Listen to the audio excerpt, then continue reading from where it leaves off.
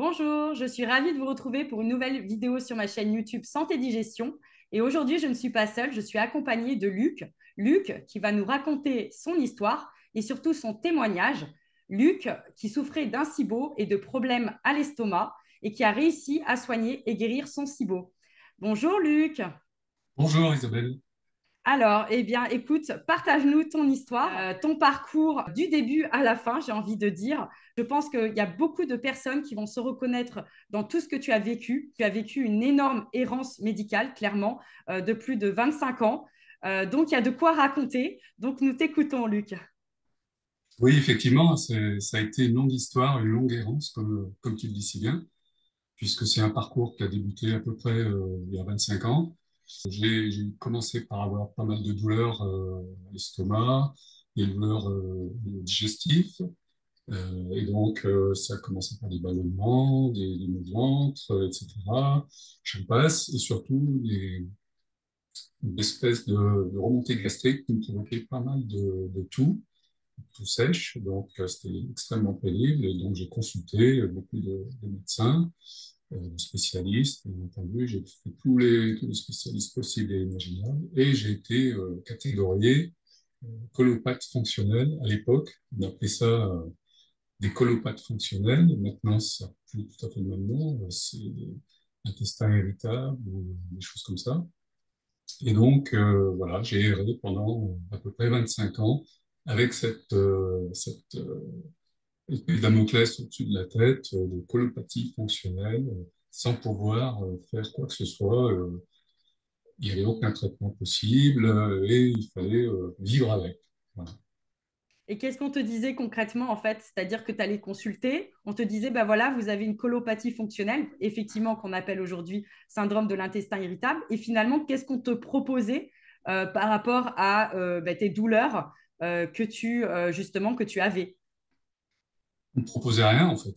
D'accord, oui. Bah. on disait juste euh, qu'il fallait euh, vivre avec, faire attention bah oui. je mange, mais sans, sans vraiment euh, de, de, régime précis. non, c'était, j'étais en errance complète, comme, comme beaucoup, je pense. Oh oui.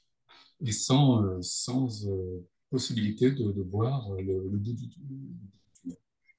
Donc voilà, j'ai parcouru plusieurs j'ai fait plusieurs euh, médecins, bien entendu, des, des spécialistes, des, des ORL, euh, euh, etc. Tout était normal. Oui.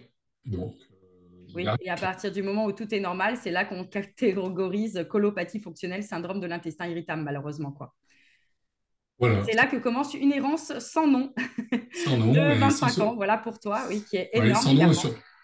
surtout sans solution, c'est ça qui est le... Ah oui, c'est ça. Parce que quand on, quand on est catégorié comme ça et qu'on n'a pas de solution, ben c'est très, très, c'est très, très long depuis 25 ans, mais c'est très, très pénible, surtout avec des symptômes qui, qui empirent de, de, plus en plus. Euh, voilà. Donc, euh, ensuite, ben, je suis passé par la case chirurgie. On m'a opéré d'une hernie hiatale, puisque j'avais une hernie au niveau de l'estomac, qui n'a apporter aucune amélioration aux symptômes, donc toujours autant de, de toux et de remontées gastriques. Donc euh, voilà, c'était vraiment très très très pénible et ça, ça a accentué cette tentation de vraiment de, il n'y a aucune solution. Ben, moi-même, en fait, on m'avait proposé aussi, euh, parce que moi, on m'a diagnostiqué aussi quand j'avais euh, des problèmes d'estomac, de, de, douleur à l'estomac, de reflux. On m'avait euh, donc donné des IPP et on m'avait diagnostiqué une hernie hiatale. Et on m'avait effectivement proposé la même opération que toi, tu as faite. Et que moi, il y avait un petit truc dans ma tête qui me disait, faut pas faire, vraiment. Je sais pas, j'ai eu un instinct vraiment bah. animal, je sais pas comment le qualifier qui m'a dit non, non, non, non. Et pourtant, on me disait, voilà, vous avez une hernie hiatale, si vous voulez arrêter euh, bah, justement ce reflux, ces douleurs à l'estomac, faut vous faire opérer, il n'y a pas d'autre choix. Donc, effectivement, toi, on te l'a aussi proposé. Euh, on le propose Malheureusement, je à énormément de personnes. Et euh, donc, aujourd'hui, s'il y a quelqu'un bah, justement qui nous écoute et qui a fait cette opération ou qui à qui on a proposé cette opération, est-ce que tu lui conseillerais ou tu lui déconseillerais? Pense qu'il ne faut surtout pas le faire, mais bon, je ne suis pas médecin, mais, oui. Moi, moi ça n'a absolument. En cas de ton vécu, euh, c'est pas une. Mon vécu, d'après mon vécu, je, ça n'a rien changé au final. Ouais. Après, je ne suis pas médecin, donc je suis pas capable de, porter un diagnostic sur chacun. Mais euh, pour moi, ça n'a eu. De ton histoire, ouais. Donc, au contraire, ça apporte des désagréments, même maintenant. Euh, mm, mm. Certains jours, et la, nourriture a du mal à passer, puisqu'ils ont rétréci euh, au niveau de l'œsophage, ils ont fait un rétrécissement. Donc, ça apporte plus d'inconvénients maintenant, actuellement, pour moi, que d'avantages. D'accord. Donc, si c'est à refaire, bien sûr que je ne le referai pas du tout. D'accord. Et au niveau de tes symptômes, du coup, à ce moment-là, donc tu étais toujours sous IPP, c'est ça? À cette époque-là, j'étais sous, sous, IPP, oui, pendant plusieurs années, environ trois ans. Et là aussi, euh, ça m'a apporté aucune amélioration. Au début aussi, peut-être pendant deux, trois mois, mais après, euh, ça, a stagné et peut-être que c'est ça qui a, qui a amené le SIBO. C'est probablement ça ou une des causes qui a, qui a amené le SIBO. Parce qu'effectivement, la prise des, IPP inhibiteurs de pompe à la proton, donc les médicaments que l'on donne lorsqu'on a euh, des problèmes euh, de douleur d'estomac, de reflux, effectivement, sont l'une des causes qui peut euh, donner un SIBO. Effectivement, ouais. Ben, ça a été mon cas aussi d'ailleurs. Ça a été pareil. Ça a commencé moi par des douleurs à l'estomac. On m'a donné les IPP. Et puis après, j'ai développé mon SIBO, effectivement. Après, ce n'est pas forcément que la, la seule cause euh, du, du, SIBO. Et d'ailleurs, dans ton cas, euh, je pense que tu en avais d'autres aussi, et moi pareil. Mais euh, c'en est, une, ça c'est certain. Mm. Oui, c'est une conjonction de, oui. qui amène certainement cette, C'est ça. Et puis en plus, dans, ta situation, donc, tu, disais que tu avais aussi des ballonnements, donc tu n'avais pas que des, des, que des douleurs à l'estomac en fait. Non, non, il n'y avait pas que des douleurs à l'estomac, il y avait euh, d'autres symptômes, euh, diarrhée, des choses comme ça, très désagréables, euh, à, répétition en permanence. Donc, beaucoup, beaucoup de symptômes tout le long de la, chaîne digestive, on va dire. Oui.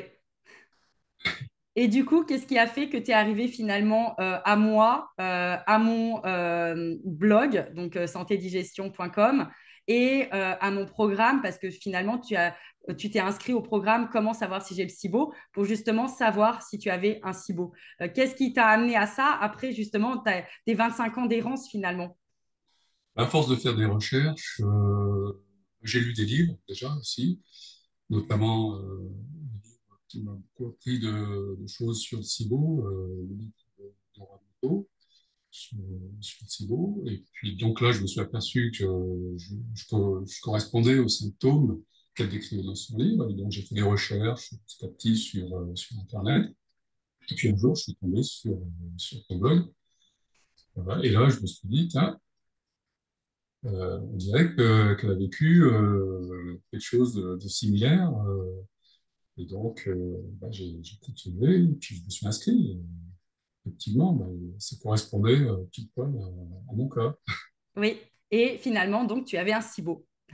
Et finalement, ben, j'avais un SIBO, les tests euh, respiratoires l'ont bien révélé. Euh, un SIBO assez, assez important, euh, oui. des niveaux très élevés de, gaz. oui. Tu avais quel type de SIBO? Au départ, SIBO méthane. Oui, c'est ça. Ensuite, il a migré vers un SIBO mixte, hydrogène-méthane. Et à la fin, il était plutôt méthane, jusqu'à ce qu'il disparaisse récemment. Oui, donc du coup, ta colopathie fonctionnelle euh, n'était pas une colopathie fonctionnelle et était en réalité un SIBO. Euh, du coup, euh, tu as découvert ça donc via le programme Comment savoir si j'ai le SIBO. Et aujourd'hui, est-ce que tu as encore le SIBO ou tu ne l'as plus? Non, là, il est éradiqué. Donc, je l'ai vaincu. Oui. les résultats, des derniers résultats de test respiratoire la peste. Donc, là, les niveaux sont revenus, euh, les niveaux de méthane sont revenus à la normale. Donc, il y a eu une nette progression euh, au niveau des résultats de, du test respiratoire. Entre le premier test et le dernier, oui, il y a une évolution euh, importante, très importante. Mm.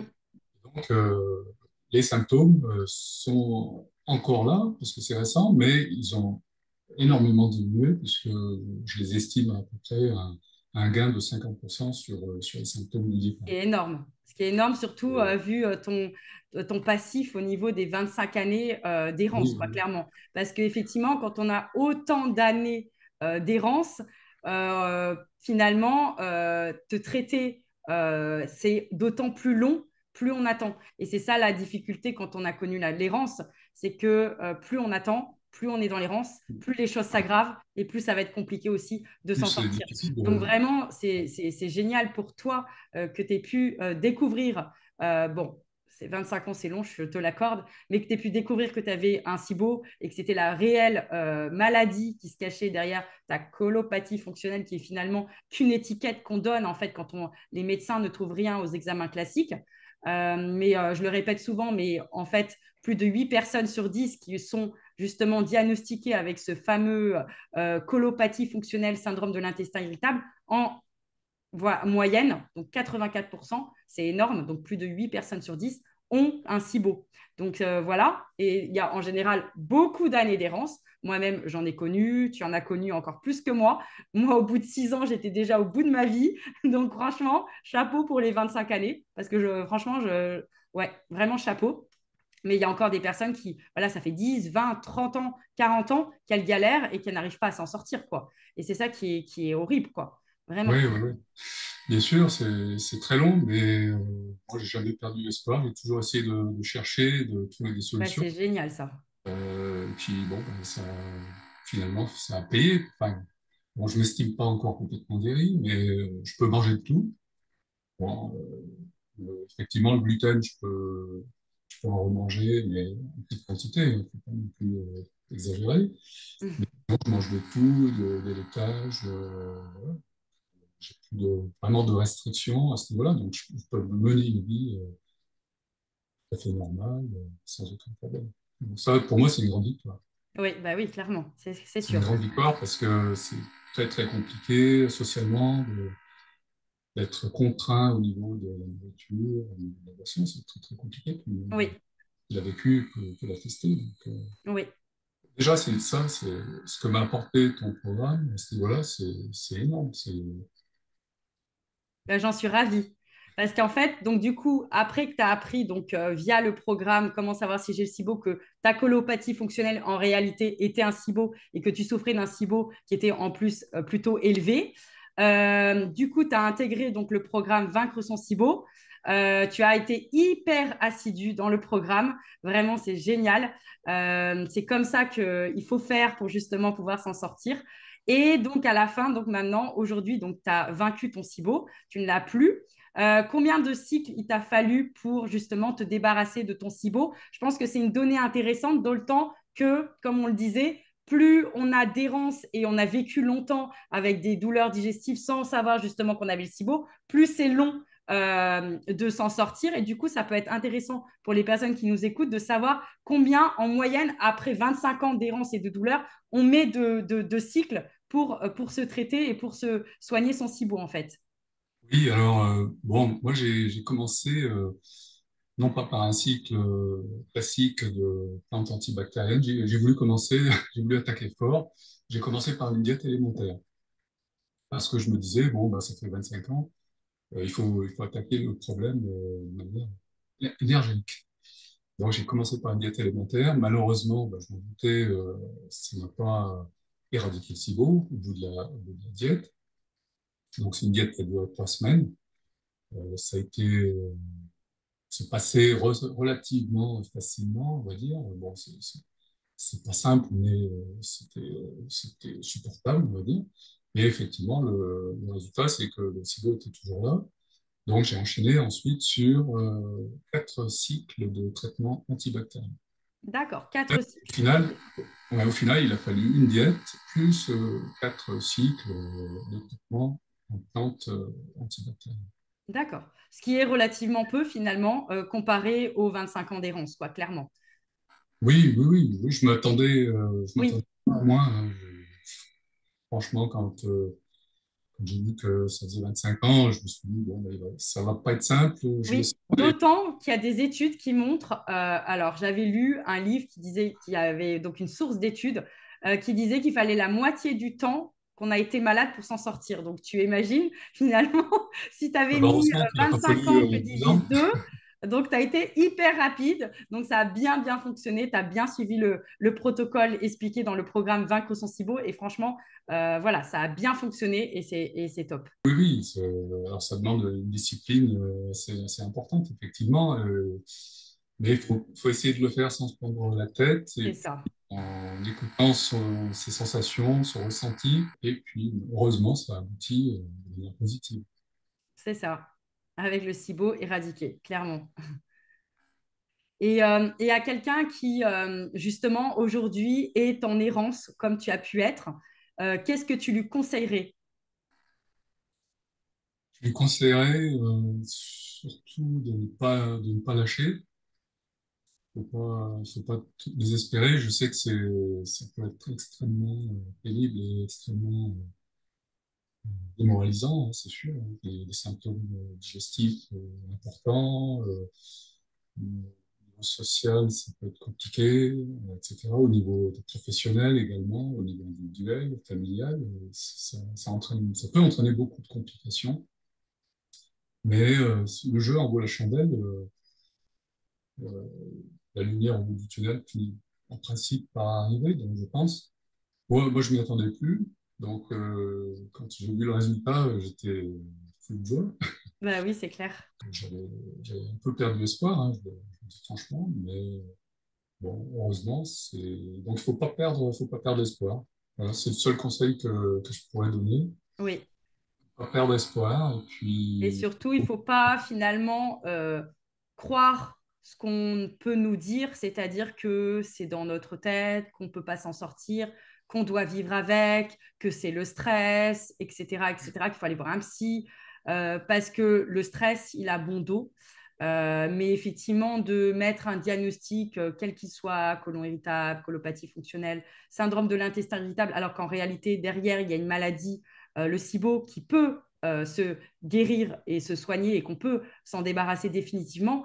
Et c'est ça le problème, je pense, aujourd'hui, à l'heure actuelle, de toutes ces personnes qui sont en errance, c'est que elles ne savent pas réellement de quoi elles souffrent. Et en plus de ça, elles ne connaissent pas réellement le bon protocole à suivre pour euh, justement pouvoir guérir. Quoi. Et il est là euh, la problématique. Donc, euh, tout mettre, je pense que tu seras d'accord avec moi, mais tout mettre sur la faute finalement du psychologique, je pense que c'est un peu trop. C'est un peu trop. C'est trop, oui. Alors, le, le entre certainement en ligne de compte. Oui, le stress est sûrement un des critères, mais pas que ça. C'est pas vrai, c'est pas, pas possible. Ça fait pas tout, c'est clair. Non, ça fait pas tout. Il contribue à aggraver les symptômes, ça c'est certain. Mais euh, j'ai envie de dire, qui ne serait pas stressé en ayant euh, des douleurs digestives quotidiennes à subir pendant euh, 1, 2, voire 25 ans comme toi, euh, au quotidien, qui invalide complètement une vie euh, personnellement, moi, j'ai jamais été plus stressée que la moyenne, euh, mais au fil des années, avec mes douleurs digestives, euh, je commençais à, devenir hyper stressée. Oui, parce que vivre ça au quotidien, c'est un enfer. Clairement, c'est pas une vie, c'est une survie. Donc forcément, n'importe qui deviendrait stressé en subissant ça. Enfin, moi, j'en suis persuadée. Oui, oui, on devient stressé si on n'est pas au départ. ah oui, c'est ça, exactement. On peut le devenir, ça c'est clair. Bon, euh, alors moi, je pense que le stress a dû jouer quand même un petit peu au départ, euh, plus euh, des, intoxications alimentaires, des prises d'IPP, etc. Donc, c'est une conjonction de plusieurs. c'est ça. Qui, m'a amené, il y a 25 ans. Ça, je pense que c'est sûr. Alors, j'ai travaillé quand même un peu sur, sur, le stress pendant tout le. même avant le programme. J'avais quand même travaillé sur, sur cet aspect-là par de la du yoga, des, choses comme ça. C'est bien ça. Gymnastique holistique euh, euh, que j'ai pratiqué pendant ton programme. Oui. Avec euh, le biais de, Christine. Et voilà, donc ça, ça améliore les choses, mais c'est pas le SIBO ne vient pas uniquement du, stress. Bah non. Bah non, parce que par exemple, aujourd'hui, tu peux avoir des pics de stress comme n'importe qui. C'est pas pour ça que ton SIBO il va revenir. Donc, non, non, du tout. Et encore, tu vois, là, tu parles de SIBO parce que tu as découvert via le programme Comment savoir si j'ai SIBO que finalement, tu souffrais d'un SIBO après euh, toutes ces années d'errance. Mais il y a des personnes aujourd'hui qui ne le savent même pas, qui sont avec un diagnostic qui est un faux diagnostic, une étiquette ou même rien du tout.